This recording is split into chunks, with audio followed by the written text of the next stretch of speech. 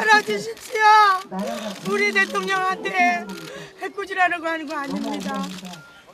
우리 마음을 읽어 달라는 겁니다. 우리 마음을.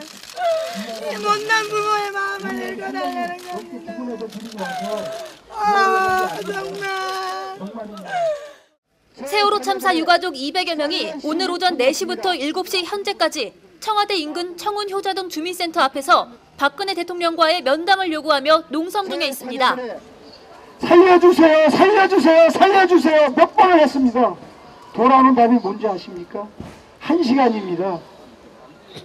한 시간이면 한 시간을 기다려야 되는데 한 시간이면 당장 애를 꺼내서 좀 살릴 것 그때 살았을 겁니다. 어떻게 그런 식으로 말을 합니까? 구조대원들이.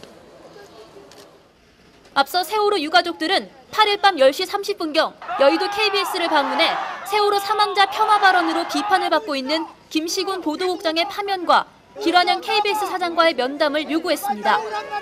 자, 만일에 오지 않으면 우리가 가서 사과를 받겠다.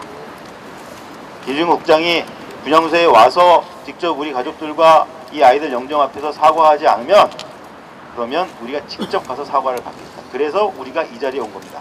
KBS 대표 이사는 공개 사과를 하고 공개 사과를 보도하라.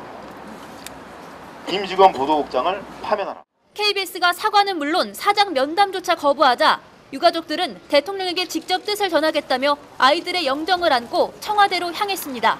저희 면담을 허락해 주십시오. 대한민국 정부는 어디에 있습니까? 저희들은 이 나라의 국민입니다.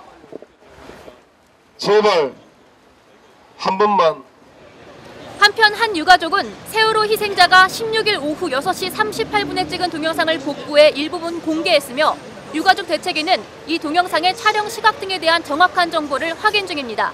오마이뉴스 곽승입니다.